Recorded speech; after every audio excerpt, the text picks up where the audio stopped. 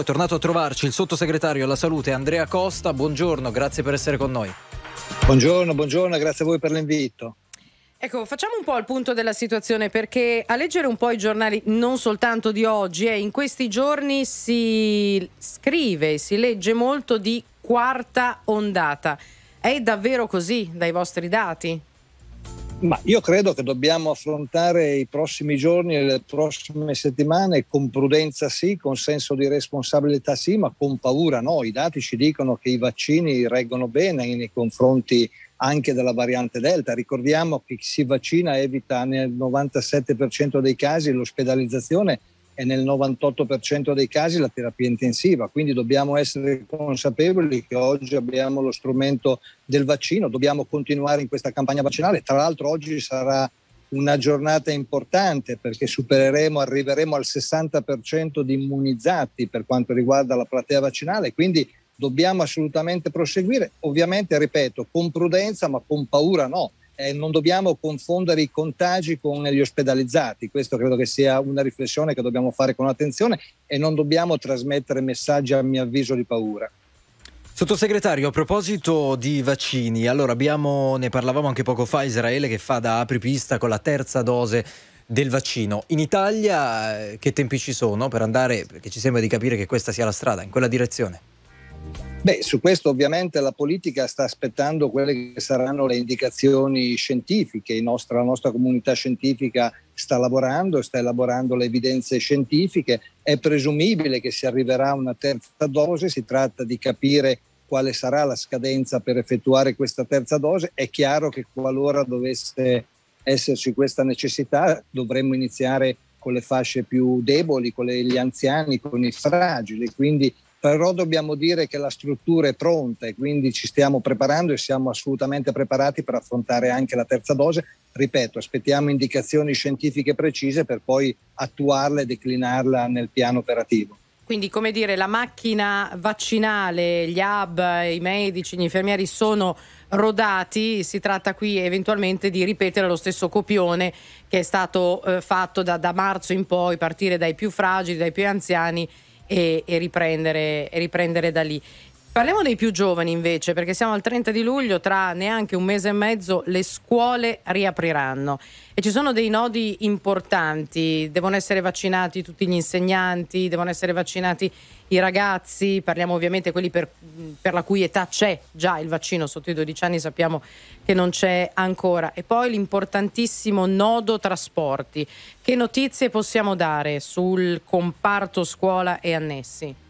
Beh, non c'è dubbio che riprendere l'anno scolastico in presenza è un obiettivo che non possiamo fallire, non possiamo non permettere ai nostri ragazzi di andare a scuola in presenza perché la scuola significa non solo un luogo di apprendimento ma significa un luogo di formazione e in tante realtà la scuola è anche inclusione sociale. È chiaro che dobbiamo partire ovviamente dalla vaccinazione del personale scolastico, Sotto questo aspetto oggi abbiamo ancora circa 200.000 concittadini che non si sono vaccinati. Noi abbiamo chiesto alle regioni di farci avere i dati precisi. Confidiamo nei prossimi giorni attraverso mm-hmm. un'opera di sensibilizzazione di poterli vaccinare. È chiaro che qualora il problema dovesse continuare a essere presente, dobbiamo anche prevedere l'ipotesi di introdurre l'obbligo vaccinale per questa categoria. Per quanto riguarda i più giovani, dobbiamo sottolineare certamente un dato importante, considerato che la vaccinazione dei più giovani è iniziata da poco, a oggi comunque il 30% dei ragazzi dai 12 ai 19 anni ha già ricevuto la prima dose, dobbiamo continuare. Io credo che dobbiamo portare i vaccini a scuola, noi abbiamo fatto una proposta proprio ieri. Io credo che all'interno dei nostri complessi scolastici bisogna prevedere dei punti di vaccinazione.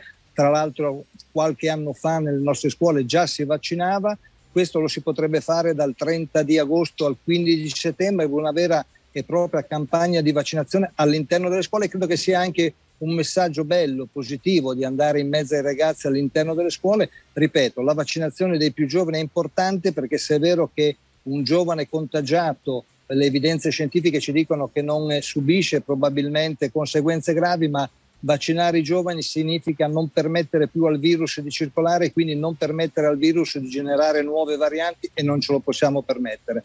Per quanto riguarda i trasporti c'è un tavolo aperto con le regioni, nelle prossime settimane verranno fatte delle scelte. È chiaro che dobbiamo prevedere degli investimenti, dobbiamo potenziare il servizio di trasporto scolastico, dobbiamo garantire l'accesso in sicurezza ai nostri ragazzi.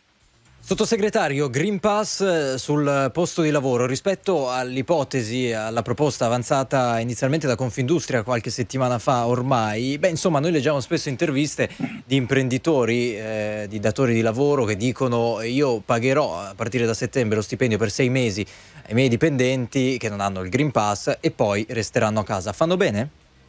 Ma io colgo l'occasione per fare due rapidissime riflessioni. Innanzitutto il Green Pass è uno strumento che garantisce la libertà e non la comprime. Il Green Pass ci permette di proseguire in questo percorso di ritorno graduale alla normalità e tra l'altro il Green Pass è uno strumento al quale gli italiani si sono già abituati perché oggi oltre 50 milioni di Green Pass sono già stati scaricati dalla piattaforma. L'80% degli italiani è favorevole al Green Pass, quindi certamente è uno strumento utile di garanzia che ci permette una tracciabilità e ci permette di gestire eh, l'epidemia. Per quanto riguarda i luoghi di lavoro, io credo che se continuiamo in un'opera di sensibilizzazione sia interesse dei lavoratori stessi arrivare alla vaccinazione. Dobbiamo comprendere che vaccinarsi significa non solo mettere in sicurezza la propria vita, ma anche la vita degli altri. Per quanto riguarda l'iniziativa di Confindustria, io credo che siano iniziative alle quali si può giungere a una soluzione, occorre passare a mio avviso attraverso un percorso condiviso, ma credo che tutto sommato possa essere una proposta assolutamente sostenibile. Noi dobbiamo uscire da questa pandemia e per uscire dalla pandemia dobbiamo arrivare all'immunità di gregge, cioè dobbiamo superare l'85% dei vaccinati. Questo è un obiettivo che dobbiamo raggiungere con qualsiasi mezzo. Sottosegretario Costa, abbiamo solo un minuto, ma ci tengo a chiederle questo, perché tra le varie riaperture mancano ancora all'appello le discoteche. Con il Green Pass si può fare qualcosa? Guardi, io ritengo che le discoteche debbano avere assolutamente una risposta perché quando parliamo di discoteche non dobbiamo fare l'errore di pensare solamente a luoghi di divertimento, ma dobbiamo avere la sensibilità che stiamo parlando di oltre 3.000 attività del nostro paese con 100.000 addetti con un fatturato di 2 miliardi.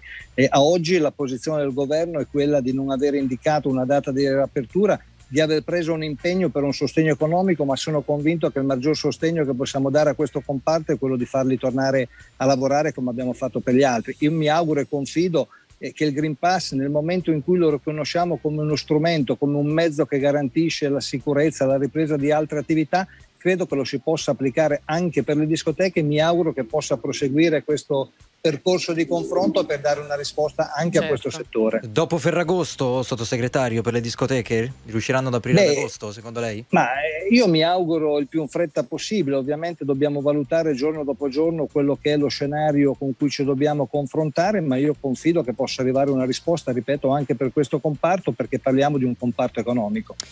Andrea Costa, sottosegretario alla salute, grazie per essere stato con noi, torniamo a sentirci presto, buon lavoro. Grazie a voi, buon lavoro.